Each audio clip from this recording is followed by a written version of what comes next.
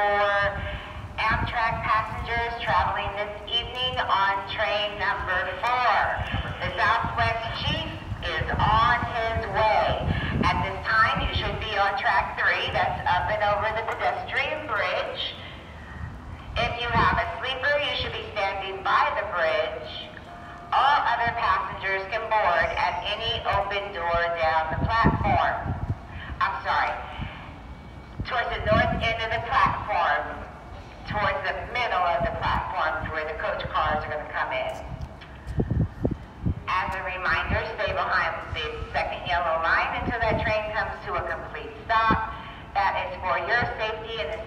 others.